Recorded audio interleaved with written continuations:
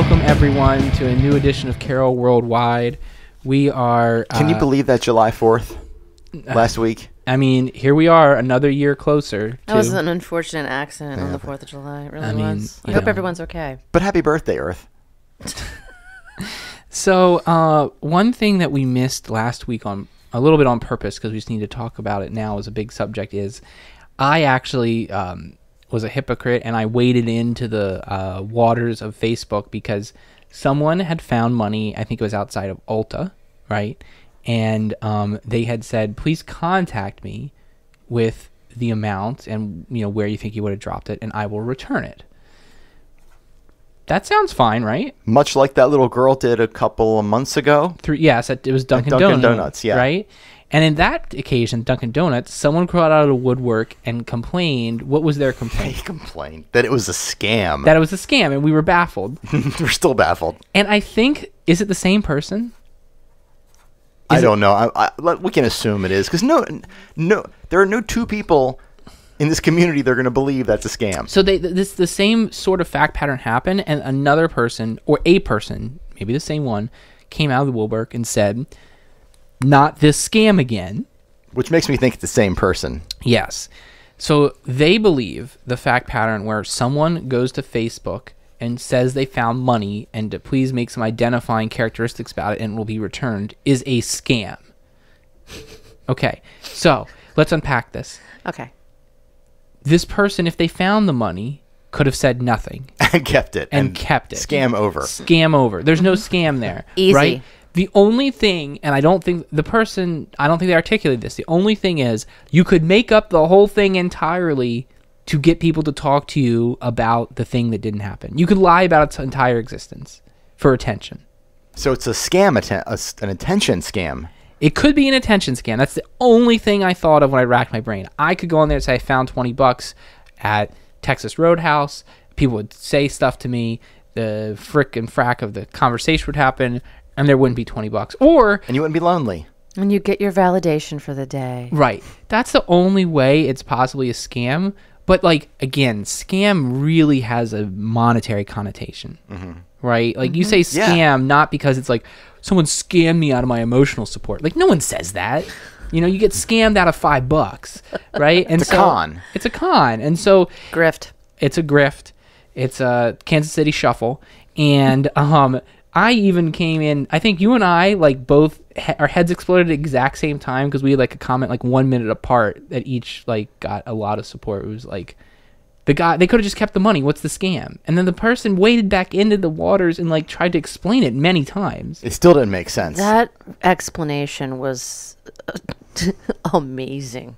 Ah. Money blowing away across the parking lot, and Yeah, I guess the scam would be it's like, what if you found less money than they lost? Well, I mean, all you can do is like, you've got a set of circumstances. You found forty dollars. Whether it was once a wad of four hundred dollars, you don't know because you're late to the scene. So the best you can do is ask about it. And furthermore, if someone came to me and said in that scenario, "Hey, I lost." 200 bucks in mixed bills um, around this time. It doesn't sound like that's all of it. If no one else comes forward, it might have been that they got separated because, like, I'd just been to the bank or blah, blah, blah.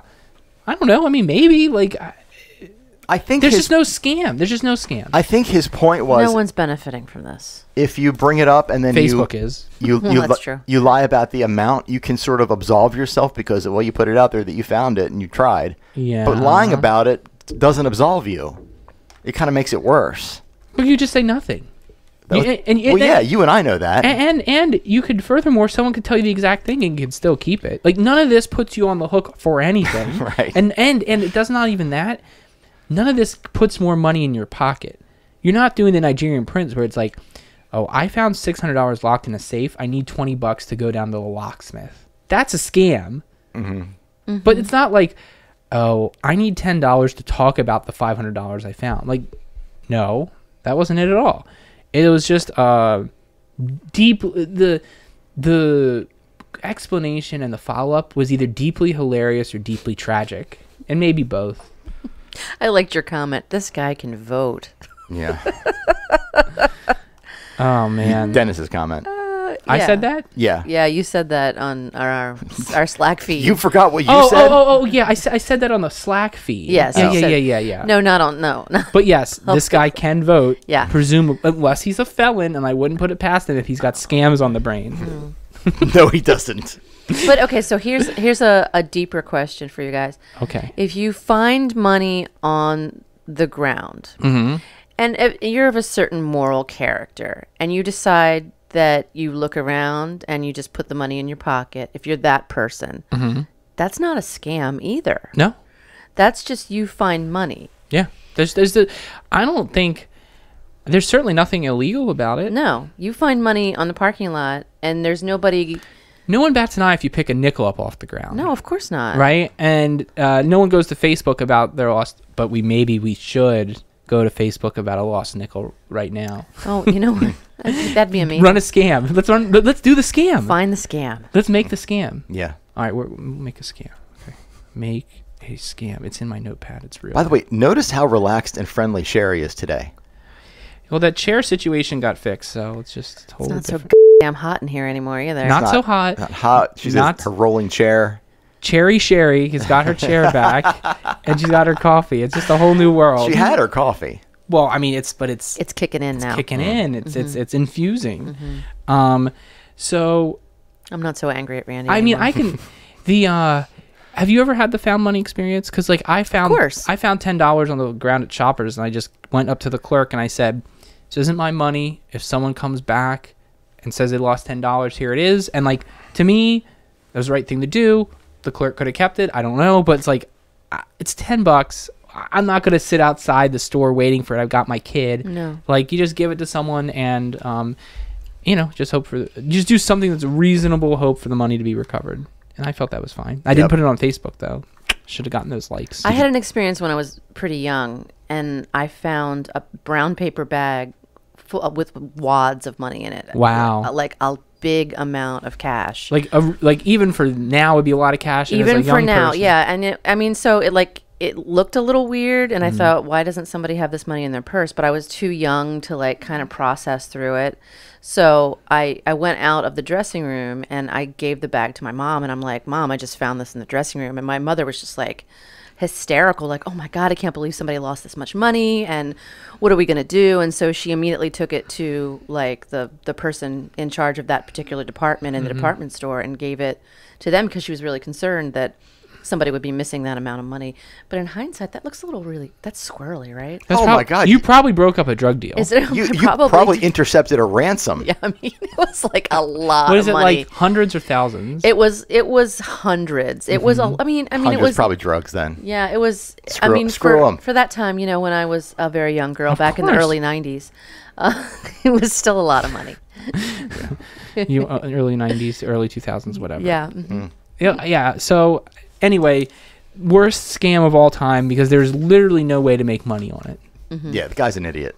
You're an idiot, sir. literally no way to make money on it. Um, so, Randy, you had you had a question about a new library location.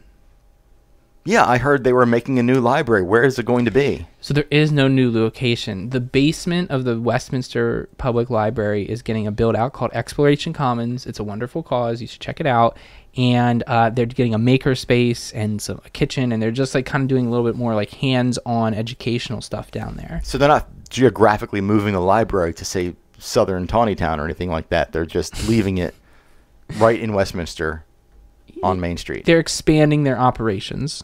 So th- is there already place. a basement in the library? It isn't it a basement that's not really public use. It Right. has a basement, and they're working on that. I don't know any more of the details. I know the people involved are all top notch, and it's like a really good thing.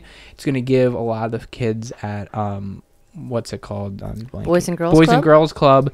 They're going to be able to like go over there Oh, and do this other stuff, and then families and everything else. So it's like I think it's like a more uh, blown out version of what Ting has in their little makerspace. It's but it's like sort of with a eye towards like big public access. Hmm. Because the picture on the Carroll County Times showed a whole new building.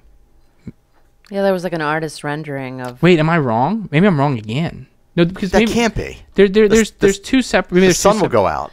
There's hmm. two separate Twice? projects. Twice? I thought you were talk- consecutively. no. Well, I thought Would you're, never there something called Exploration Commons is going to the basement of that library, but maybe there's this- a different thing that you're talking about. There was a story of a whole new library, and I thought it was a whole new location, but there was like words and paragraphs, and I don't have all day for this Okay. reading. reading. Well, the thing I know about is the makerspace down in the basement of Westminster. Well, that's Library. something. That's that's what I think is cool. Now, are the sketchy people that hang out there going to go down there and- in the 3D printer and make weapons or something like that, or did I just give them that idea and I'm going to be the downfall of Westminster? 3D print your AK-47. exactly. you go, Randy. You've ruined it all. Randy- Again, Randy ruins everything. So speaking about Randy, is our title. we haven't talked about if Randy's basic or not recently, and so my uh, so I don't think you've met my wife, but sh- so she only listens to the podcast and she sees your Facebook picture, and she was like, she made some comment that didn't quite like jive. She was like, um.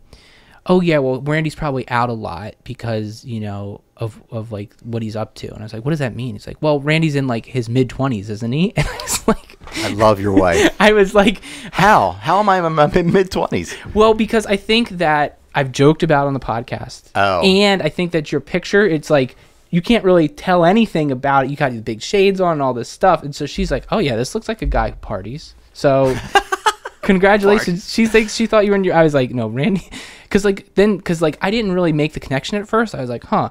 And I was like talking about the fact that like your kids are older than Isabel, and she's like, huh. And like we were like not we were both having one of those couples conversations where like we were like crossing streams and couldn't figure out what was going on. And then the, the big revelation was that she had a different idea about your age because your kids are significantly older than ours, and it just wouldn't make sense if you were in your mid twenties. My kids are almost older than me at this point. well, so I thought you would like that. You're doing a good job with your What Facebook a nice work. compliment. It is a nice compliment, but yeah, I don't go out and party. My body goes into shutdown mode around 8:30. yeah. You can ask anybody in my house. Do you do a lot of naps on the couch? the other day, this is true. Oh. Sunday, I tried to go the whole day with no caffeine at all. I took four naps that day. That's awesome. How long were the naps? Took 20 minutes or so. Just little cat naps? A power Yeah. nap. Yeah, but I couldn't stop napping because I was like, I'm going to get through the day with no help, with no caffeine, with no assistance for energy. It didn't work. well, I always, I'm at this point in my life, if I have one beer, it's just like a nap beer. It just like tires me out. Mm-hmm. You gotta like either like power through to some more or just not even start. Right. So, did you get the coffee at Birdie's? No, I had no coffee Oh, that day. That was the That's coffee fine. free day. should have gone to Birdie's. He should have gone to Birdie's. Yep. Should have gone to Birdie's. And coming up with uh, Birdie's as a central hub, what's happening in Westminster, Sherri? So this Saturday, July the 13th, is our second annual Westminster Pride Festival from noon to 5 Mm-hmm. on East Main Street. Food vendors, live music, m- maybe a burlesque show or two, How many vendors you got now? a? DJ, hundreds of vendors. Hundreds. I'm going to make a prediction about this because Okay.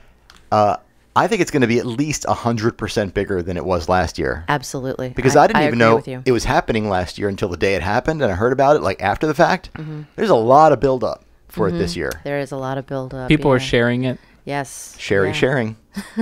Sherri, Sherri, sharing. There's a lot of people saying ugly things too, but you know, them. but we're gonna have Did a you ever great see- time. Did you ever see the Louis C.K. bit about? He's canceled. Yeah, we don't really talk about him, do we? Oh, right, because he's uh, he masturbated in front of women and made them watch. Mm-hmm. But he did say something funny before he did all that. He said, Or it might have been before we knew about all that. he said, That's a really nice segue from the Pride Festival to this. Uh, Thank you guys. I can cut all this out if you want. it's thanking Randy. It's not me. Yep. I, I brought up he was canceled. But anyway, Okay. don't keep us. No, go ahead. Go he, ahead. he made a really funny joke about about uh, people who are anti-gay. He said there are there are people just sitting at home going, "Damn it, people are gay," and that's it. Yeah, I don't I don't understand the the hate there. I mean, who really cares It's- what it's people do in the privacy of their own homes? It's but fear. It's like It is. It's fear. But anyway, we're doing what we can to uh, make that not a thing anymore. We are we're doing love, we're doing sunshine, we're doing glitter, we're doing face painting, great food, music, amazing Pride Festival. Right here. In I our think it's small going to be town. really big. Yeah, we're gonna have a great time. Sorry you guys won't be there, but uh, I'll save you a frozen margarita. We're both traveling. Well, It's crazy. apparently, yeah, I'm going to be getting uh, what, Yes, some kind of you're going virus to or d- something. You're going to die on your Great. cruise. It, it, the the whole Goldstein clan is on the cruise. yes, all four of us. The ones who survived the decking. Yes. The well, no, the deck nobody survived the decking. The decking. The great decking of 2007. so so Randy, your dream is coming true in form of brick oven pizza. What's the rumor you Oh heard? yeah, there, there is an alleged confirmed rumor Just confirm. that the Mission Store on 32 in Sykesville is becoming a brick oven pizza place. Interesting. Wow. That's all I know. Interesting. There already is a Blake brick oven pizza place in Mount Airy. and the source There of is. this information to you is a reliable source of information. Uh, 90% reliable, yeah. Wow. I hope that person is not offended. Yeah, I hope they're not offended either. 90% is pretty high. I don't know. Mm. I mean, I hope you're not talking about your wife, Everybody's got a little trickster in them. So uh, Loki. so we could uh we could hope that happens, I guess. And I'm um, hoping. Hope, hope. so we're gonna go back to an old favorite. Randy, tell me about some traffic stuff that's happened to you recently with the mall. Somebody's phone going off? Someone's someone's buzzing. Not me. Not me either. There's no way you can hear my phone from all the way. yeah, over yeah, I can hear it buzzing. These mi- mics are very sensitive. I mean, It is me. I'm so sorry, guys. Let's see who it is. You want to answer a phone call? yeah, let's Yeah. answer our phone, RBG. Oh, maybe it's my mom. But you let it go It so is long. my mom. No, I'm not answering this. Sorry. Mom almost got famous. no, no. Um, I did want to bring everybody's attention to if you come to the mall from 27 and you go into mall ring circle or whatever that is from 27, incoming traffic does not stop. It does not have a stop sign. It's not supposed to stop, Right. but There used to be signs on the stop signs that are on mall. Was it mall ring circle? right, the people who are like circling the mall, they, They have, have warning sign. that the other people don't stop. Not anymore because on the one the sign is missing, Uh oh. and on the other stop sign it's like bent around the pole or something. So people who are new to mall ring circle don't know that incoming traffic doesn't stop. And I've had a lot of near misses there lately, and I'm sure other people have as well. So be very careful. Yeah, well, maybe you should talk to uh, the assistant to the manager of the mall. Oh, did I just break our rule? Oh crap! I wasn't even thinking about that. I was just. Jo- But it's a warning. it's also a traffic issue. Yeah, it's not a complaint about the mall. It's per also that that road Yeah. is that road might be a public road. It, yeah, it, Where's the mayor? It's on city property. yeah. where Oh, is the mayor? Where's the mayor? Where's the Okay, mayor? complain to the mayor. Okay, got yeah. it. Okay. Take it right to the top. Take it to the top. Th- Okay, th- this brings up something else I wanted to talk to Sherri about because there's Why not me? there's because there's been an ongoing theme with Sherri Uh-huh. these past seven or eight months Uh oh. about you don't post a lot on social media. I do not. Now, there was a woman that posted a couple months ago about kids being on a roof somewhere, and you said she was just being, look at me, I'm posting this, look at me, instead of handling it privately. Right. Okay, is it your belief that anybody that posts anything on Facebook is look at me? Um. Oh wow. Yes, I do believe it's a, a, a vanity type situation for yeah, and I and I'm looking right at you and I'm talking to you. um, yeah, I think Okay. I think that it's it, I think it's attention seeking behavior, which I do not like. And I think that people who get onto social media and vomit their problems and their lives and their complaints are doing it solely to seek attention Are there from others. Are there shades of gray or is it black and white? Like example, Absolutely. Yes, there's always shades of gray. when I posted the picture of that tree falling on that power line, you did that to be funny. no, I didn't. That wasn't funny. I was doing it to warn people, like watch out if you're on Stone Chapel Road. No. Was was that a look at me? I mean, it was a little bit look at me, but it was, Okay. but it was mainly, yeah. Of course, there are situations. That's a great example of where it's mainly white and not black, but um, don't look at me like that. You said shades of gray. I was gonna make a racist joke and then I decided don't, not don't do that. Oh, That's gosh. not what this is about. We're talking about shades of gray. Um, yeah, but I I mainly think that the majority of people who go onto Facebook and whatever other social media you choose to be a part of and post pictures of their perfect families and their perfect dogs and their perfect kids and Well, you know they're not perfect. no, of the course scenes. not. And and it's just it's I don't know. It's ridiculous to me. Oh, this happened to me today, and they want it's attention. It's classic attention seeking behavior. Okay.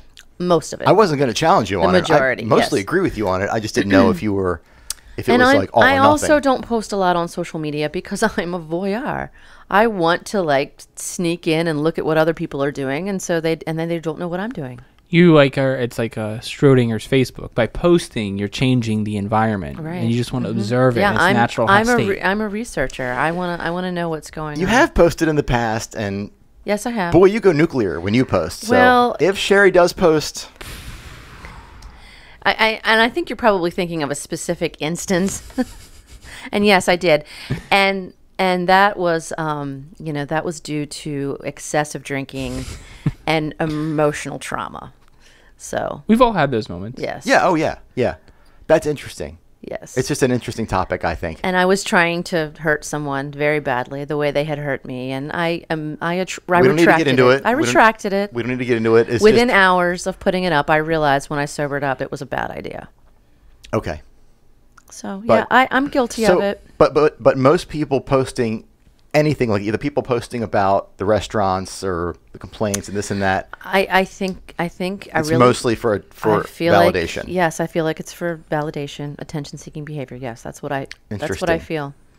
Yeah, I mean, you're seeking attention, but f- like, it's just like maybe for, for like a cause. Like, if your cause is this place treated me like crap and everyone needs to know about it, you're not necessarily. You may be seeking validation, but you also may be like, I'm trying to like hurt this person too, like this business or whatever. Like, I mean, in general, like, I mean, Facebook is about sharing, I guess, or it was. So I mean, you have to want people to know the stuff. So you have to f- strike a balance. The, in- the thing is the, so the- the minute the minute my wife was pregnant, I like stopped with Facebook for the most part. Like I mean, I post pictures of like the family stuff, just like as a mem- like memento, so people can say, like, "Oh, you haven't seen my kid in a while. Here's what it is." But like, I'm not what it is. I'm not. I'm not like hashtag dad life like three times a week trying to like make my life into something it's not. You know? right, right. You're not. Yeah. And I'm there, like I'm there like are people that are doing that. that You can tell they're compensating for something. Yeah, well, hey, it's like uh, one of the most visited websites on the planet. So they're doing something desirable to people. Whether or not it's good for people, we don't know. It's sort of like that guns don't kill people, people kill people concept because, like, I think Twitter is absolute trash. Mm-hmm. But people will tell me, well, Twitter is just a software platform. That's all it is. It's how people use it that is the trash. Yeah. Well, I mean, if we, there weren't any people, we'd all just have none of this stuff. So uh, both those things are We probably extreme. wouldn't have this podcast if there were no people. Well, who knows? This would be the one thing I, that I God mean, fair preserves. point. We wouldn't have a lot to talk about on Carroll Worldwide if there was no Facebook. That's So, true. So before we get into the top ten list, uh, and maybe we'll cut this part. Did you want to re- have your son records acceptance of the Golden Tractor Crank? I, I absolutely will. Yes. Okay. Yeah. So, Did he? Who he accepted it? He he ex- gladly. do you want to accepted set it up yes. for him? Sure. Okay, set up. Your son is getting a special phone-in Golden Tractor Crank, and he has already accepted it. We're not victimizing him. No, we are not victimizing him. Okay, so tell us what happened. So, a couple of weeks ago, right after school was finally over and summer had just begun, ah, The best time as a teenager. best time of the year, Mm-hmm. my precious, precious middle child mm-hmm. went to a friend's house mm-hmm. without telling me. Oh, where he was going. And um, I guess they were swimming in the pool, and also they decided to take a joyride in a couple of gator golf carts. No, they were. These were. They were allowed to use the gators. Of course they were. Okay, so there wasn't a theft or anything. But no, there was no theft involved. Nothing untoward really happened. So he was the just passenger. A, just a beautiful sunny, sunny day in bucolic Carroll County. it's This it's sounds great. very rural, northern Carroll County, somewhere near Town, Randy. The southeast area? and uh, and they're riding through these rolling fields of Carroll County in the in the Gator, and the driver, my son was the passenger, took a hard right turn and flipped the Gator and threw my son out, and he was thankfully not hurt in a, a way that can't be fixed. But, he was he was pinned under the gator, and uh, and now currently has to spend the rest of the summer in two boots, one on each leg, and wheelchair. So he That's is, like a very Carroll County way to get hurt. he is golden tractor crank worthy. Golden Tractor So, Son. Congratulations, Sebastian. and here's his acceptance. I, Sebastian Joseph, humbly accept this week's Golden Tractor Crank Award. and we're back. so um, we're, we're we're almost done, and it's time for our highlight of the episode as usual. a second top ten list of the day for us. It's a top eight list. Okay, we'll we'll interject. Yeah, you guys should interject. Two more. Okay, go Okay. ahead. So I, I I started thinking about ways you could actually effectively scam money in Carroll County. Oh, yeah. due to content. Well, I've got one. I'm gonna post Oh, on okay. Facebook that I found fifty bucks, oh, okay. and then But wait, was that, was that already one of her top ten? What, what's the what's the scam? that's the scam. Why don't you get it? okay. Dennis can vote. Did you know that? yeah, he's sca- he's scamming us out of logical thought. Do you have a Do you have a good scam other than the ones you already suggested? We'll- we'll maybe you wanna- interject. We'll- we'll maybe you want to you go. jump in. Okay. So uh, I thought uh, there'd be a great uh, scam. Um, let's just call this number nine. Um, grass clipping collection service. so you could actually you sh- you could pick up the grass clippings and then take them to another location, spread them again, and then charge to you know and just It's actually kind of brilliant. yeah, you could you could keep on scamming that way. Okay, um, you could uh, also, uh, a la our favorite uh, Facebook user, you could offer your skills as a handyman, take the money, and then show up drunk and ineffective. Okay. That's a great scam. Oh my god. Clearly working for for dude, That's right? brilliant. Yeah. Okay. Um, you could um, also number six confuse the cashier with fancy change making after you hand them large bills. you tried to Kansas City Shuffle on You that. know, Oh yeah. my god. You can Confuse the cashier. So you know you end up getting back more money than you actually gave them. Didn't gypsies used to do that? Like they would give you a ten and go, "Well, I give you twenty. You need to give me two tens back," and confuse you, and you'd be like, "Oh, whatever. I just got to get out oh of this." boy. I That don't know. happened, I don't think gypsies is a, a PC term. isn't it? No, I don't think so. All right, I'll, I'll ask the Indians. Um, number five. Here's a great little scam that I use. Mm-hmm. Um, I actually charge customers for additions when they ask for additions to their, you know, to their food. I do that a Like lot. Like sugar, cream. No, like actual valid additions, Oh, like okay. Wait a minute. I get, I get my sandwich. avocado and I get my sandwich with no pear. Do you owe me money? I probably do. But yeah, it doesn't my work that way. It doesn't work that way. It doesn't work the opposite House way. always house always wins. yep. um, you could always um, you could always double book an event and keep the money. There you go. Oh, It's that's- a great. That's scam. a great scam. Yeah. and I think it's been very effective for one local business. At Hoops Hill. Yeah. um, you number three, you you could actually start charging customers to take up space in your restaurant if they're not, you know, buying anything else. You could just you know, go over there with a, a bill and say, "Here, here's your rent for the uh, hour and a half that you sat here and That's a good one. took up my oxygen." Um, number two, you could use fancy Italian or Spanish words to describe your sh- your drink sizes to confuse the English only speaking that come into your particular It's not going to establishment. confuse Ashley and her Uggs No, it will and her not. pink iPhone cover. No, she will. She will know exactly what you're talking about.